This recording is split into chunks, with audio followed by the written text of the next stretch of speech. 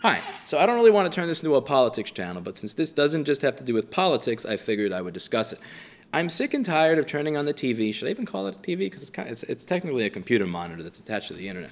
So every time I turn on my computer monitor and I look for news, I'll, you'll see these misleading titles, and it'll say interview with such and such, interview with such and such, debate with such and such, and it'll say interview. And an interview to me is when you talk, I listen, I talk, then you listen. We take turns doing that. That is an interview, that's a debate. Whereas, uh, yet, what they think it is on these news stations is I'm going to talk, and then you're going to talk, and then I'm going to talk over you talking, and I'm going to talk louder so that I win. That's not an interview, that's not a debate, that is just two people engaging in a verbal dick waving contest, and you get nothing out of that. And when I'll scroll down to the comments, what would drive me even crazier is that I'll read the comments, and people will actually think that the person that did the more interrupting is the victor. The person that talked over the other person is, must be the one that's right. Oh, wow, she owned him, he owned her because he was talking over her? I don't understand. See, the way I see the world is that if I have an argument that's a good argument, I can wait for you to finish yours. If I believe that I'm correct, if I believe I'm going to win the argument, if I believe in, in the context, in the, the content of what I'm saying, rather than just the, the, um, the showmanship of it, I'll let you finish what you had to say. The moment that I don't allow you to finish what you're saying, what I'm portraying to the world is that I'm insecure. I know that my argument is shit, so I can't let you present your counter argument because my argument is shit. Or it makes me seem like I'm on this high horse where I can't let you speak because you're fucking beneath me. You're so beneath me that I'm not going to let you speak, which is makes me a douchebag that none of you probably are going to want to listen to. So I'm either going to assume that you're insecure or a douchebag or both. That's all I can get out of what I you know what you're telling me when you don't allow the other individual to speak. And I don't understand how we as a society decided that in any one of these arguments or interviews that we're just going to automatically agree with the person that didn't allow the other person to speak. We're automatically going to agree with the individual who is not allowing somebody else to voice their opinion or concern. That's silly and that's stupid, and I'm sick and tired of watching it. The way that I deal with this in my own life, whether it's in a, in a relationship, in a. Kitty? Hi, Clinton. My cat's name is Clinton. Come here, boy. Want to speak? Are you interrupting me? You're interrupting me. I was speaking.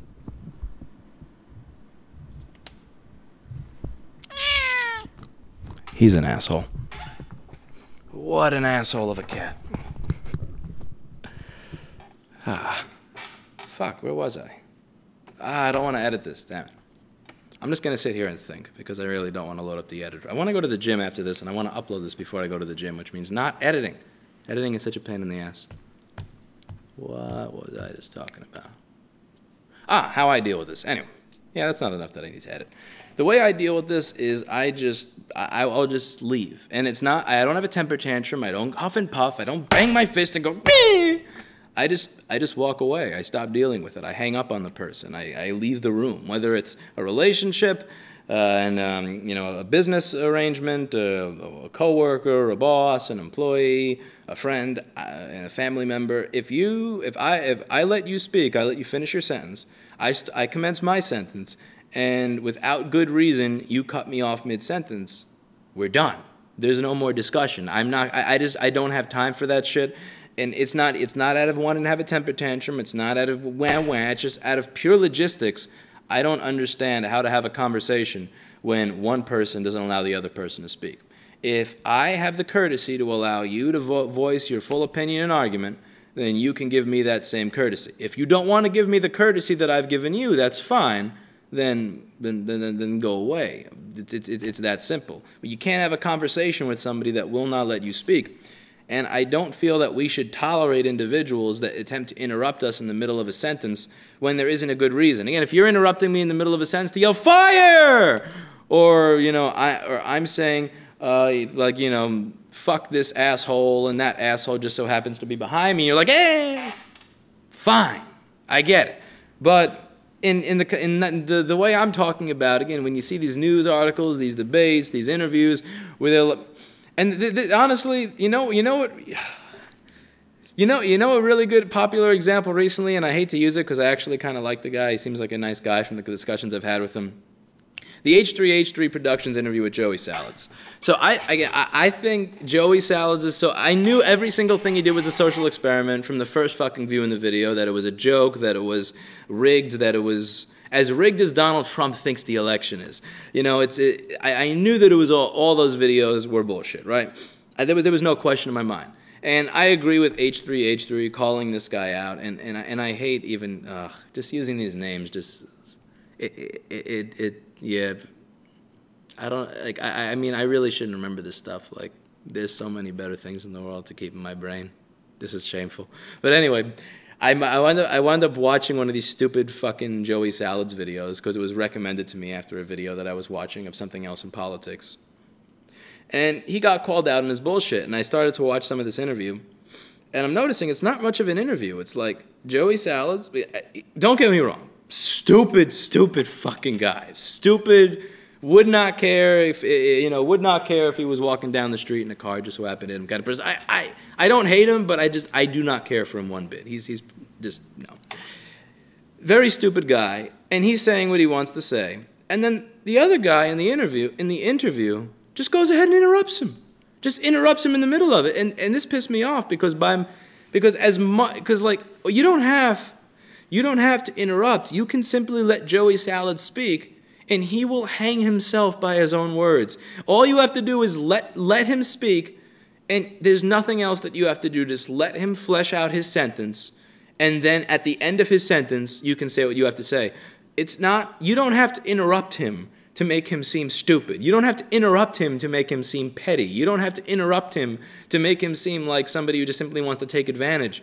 It's all out there. You, you, you, can, you can chime in your point at the end if it's even necessary because he will hang himself by his own words. And I'm listening to this and it's like, this is not an interview. And you compare it with the interviews that, let's say, Eli the computer guy does. Not that I agree with everything Eli says, but it's like when Eli does an interview, he, he speaks, he lets the other person speak, then, when they're done speaking, he speaks again. And it seems like, I mean, that's the way interviews are supposed to be done, but it doesn't seem like anybody actually understands that. When you interview somebody, you let them speak. Like when I interviewed Michael Carvin, when I had that interview with Michael Carvin, I asked a question or said something, then he spoke. When he was done speaking, then I would say something. When I was done saying something, he would say something. Why is this such a difficult concept to understand? Like even another example, this is something that was recommended while I was I really got to stop watching YouTube recommended videos because I wonder how much of my life I'm wasting just like letting autoplay stay on. I'm going to turn that off when I'm done with this video, promise. But there's this video like Larry Ellison destroys questioner. And there was a comment in that video, it said something like, you don't destroy anybody by interrupting. And I agree. Because I listen. Because the thing is, I didn't even understand the context of what Larry was talking about because I never got to understand the full question. So maybe you can call me an idiot for not understanding the context. Maybe you can call me an idiot for not understanding Oracle's politics. But just from listening to that and seeing how many times he cut the guy off, Larry Ellison could have been 110% correct. For me, as a third party just watching that is not really involved with much of what Oracle is doing, I just think Larry Ellison's a pompous jackass. He may be correct. I, I, will never know. I never bothered to listen to the whole fucking video. I hit X and turned it off because that was not a conversation. And I would suggest that we start to act in a similar fashion. Let's not allow others to degrade us by continuing to you know, have a conversation when they don't let us speak. And let's stop assuming that the winner of a debate, the winner, you know, or the person who's correct in an interview, is the one who does not let the other person speak. I'm not saying that we should defend Joey Salads. I'm not saying that we should start to say that he is exactly the, the um, uh, a role model for, for young people. It's just that it's that like if we're at the point when somebody as stupid and guilty as Joey Salads, we uh, how do I put this? If if we're at a point where we think that we need to interrupt somebody as stupid and guilty as Joey Salads because if we don't interrupt, we won't get the point across then something is seriously wrong here. Because like that guy is like, and like you, all you have to do with a lot of these individuals that we're interrupting, just let them speak, let them hang themselves by their own words, and then you're done. And another uh, benefit that I don't think a lot of people think about when, when they're interrupting is that, A, they may say something that's so dumb that, that, that you'll be able to respond to. They, uh, I really got to get my breakfast. They're, they're going to say something really stupid that you may have interrupted them before they had a chance to say that you'll get to respond to. You also get extra thinking time to respond to whatever it is they had to say if you don't interrupt them. So you may think what you have to say right now is just the best thing in the world, and I know this better than a lot of people. You may think that what you have to say right now is like this genius, amazing thing that everybody's going to think is amazing. And then it may only take five seconds of thought to realize that was a stupid fucking thing to say. And when you give yourself that five to 10 seconds when you, while you're allowing somebody to finish their sentence, that five to 10 seconds of thought is all you need to stop yourself from saying something incredibly stupid. Because you may think that what you have to say right now is the best shit in the world, but it only takes 10 seconds of thought to realize that will not pass the test of time. And it's why I think people should just stop interrupting and we should stop praising people that we see on the news that interrupt people. I'm tired of scrolling down to the comment section of these articles and going, wow, he really destroyed that guy. He really owned that. No, he didn't. All he did is not allow him to speak. And we wouldn't get, you know, no, nobody would, dis, we wouldn't allow ourselves to enter a boxing match where somebody decided to tie our hands together with a rope. So I don't understand why we allow ourselves to enter conversations, debates, or discussions where somebody else doesn't allow us to speak.